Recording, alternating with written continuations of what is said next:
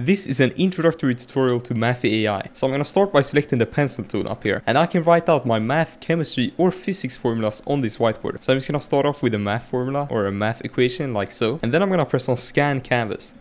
And that will make our math appear in the top left corner up here. And now I can communicate to our AI tutor about our math. So I'm just gonna type help me with this one, like so. And our AI tutor will be able to refer to the map that we have written up in this top left corner and help us with our specific question. And we can see that our AI tutor outlined all of the steps required to derive the solution. And then we have the solution down here, x is equal to 3. And what we can do also is that we can ask the AI tutor about steps. So for example, we might be wondering how we got from this step up here down to this step. And we can actually just take a screenshot. So we can just take a screenshot right here and ask about those two steps. And then just paste that in to the whiteboard. And then we can surround the screenshot with this rectangle tool to isolate the part of the whiteboard which we want to ask for help about. So I'm just gonna surround the screenshot. And then here we have the screenshot. And now I can just ask, how did we get to that step? And I, I spelled step wrong, but it's fine. It realizes what I was trying to say. So sure, I'll be happy to explain that step. So it explains to us how we get to this step from this original step up here. So there I showed you guys how you can paste in images and how you can isolate the things that you want to scan using the rectangle tool. So let me just explain with one more example. So what we can do now is that we can clear the history by just going up here and pressing on new room. And now the history is cleared. And now I can just clear out the whiteboard as well. And I'm going to open up this website and I'm going to take a screenshot of one of these equations like so. And I'm also going to include the question itself. And then I'm just going to press on scan canvas again. And here we have the equation yet again and the question. And now I can just ask our AI tutor for help with the screenshot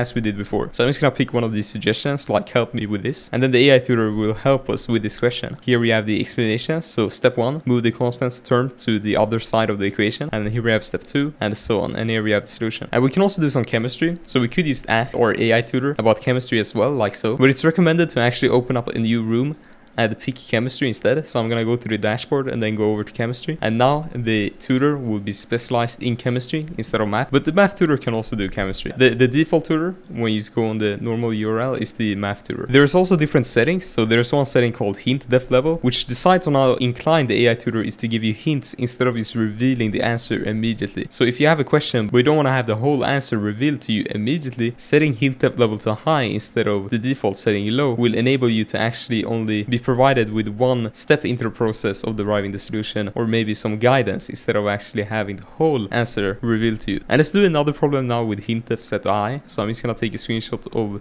this problem down here. And by the way, on Windows, taking a screenshot is just Windows key shift and then S at the same time. And then you can just paste it in by control V once you have the, your focus on the whiteboard? And then you can use press on scan canvas again and now I'm gonna ask for help. But this time I want to actually be provided with the full solution at once. Instead I will just be given some guidance and maybe like one step into the process of deriving the solution. And we can see here that our AI tutor is providing us with the formula that we can use to derive the answer to this problem. And you can also follow the roadmaps. And the roadmaps are essentially embedded learning paths that you can follow and submit your answers to. If you go over here you can select different subjects. So if you select math we currently only have two roadmaps and this one is still in progress. We only have one exercise on this one. But the logarithm one is almost finished. We just need to add a couple of more chapters and exercises. But you will see that we can navigate through these different pages by opening this little table of contents down here. And we can see that these ones are the pages with exercises. And the ones without the XP don't have any exercises. So they're solely explanations. But to actually submit an exercise or submit your answer to an exercise, you have to submit it either through the whiteboard or through the text window down here. So let's just do this exercise right here. So you can tell that we have this submit answer button right here. So we want to press this button once we have provided the correct context for our answer to be rated. So if we, for example, just solve this real quick on the whiteboard, so we have 2 to the power of x plus 3 is equal to 8 times 4 to the power of x minus 1. So the trick to this question is that we want all of the bases to be the same, such that we can just make the exponents equal to each other and solve for x. So I'm just going to make every base equal to 2.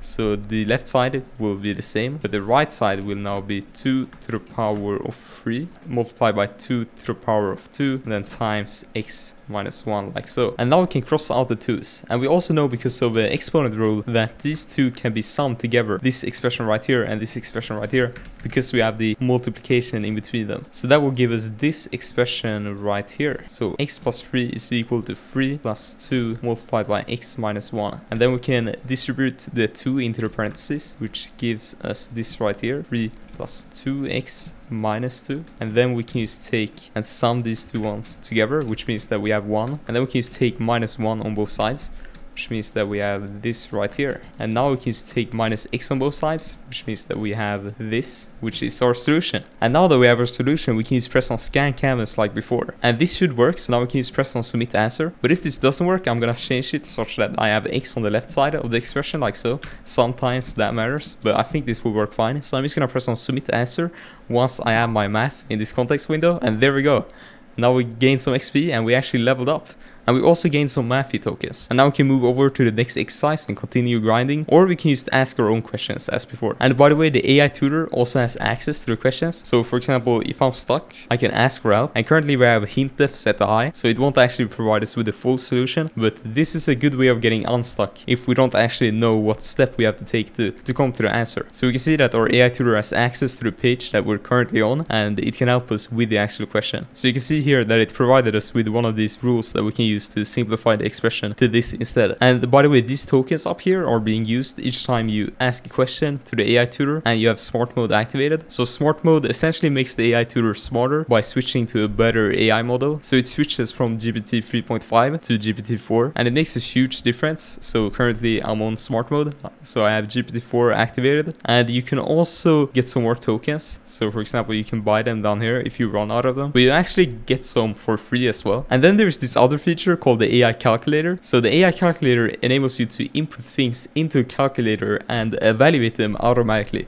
So let's say that you have solved like some sort of long equation on the whiteboard. So maybe you had like x, you know, divided by 5 is equal to 3, but you have the root of 3 and maybe you have like the 11th root of 3 times, I don't know, 521 divided by 3, something like that. And then you multiply by 5 on both sides. So you have this full expression multiplied by 5. Essentially you have like something really annoying and you need a calculator. So this AI calculator enables us to just press the button and have all of the values inputted into a calculator. So what I'm gonna do here is I'm just gonna press on calculate once we have the things in our context window up here and then it will be automatically inputted into the calculator and also evaluated. So we can see right here that we have our formula for the things that we have to calculate and here we have the answer. But this does also cost these Mathie tokens but it's essentially just like a speed up so if you're just doing a bunch of exercises and you're deriving a bunch of solutions this can actually help you out to just speed up your you know workflow but I would suggest double checking the answer each time though just to make sure that you have the right things inputted into the calculator.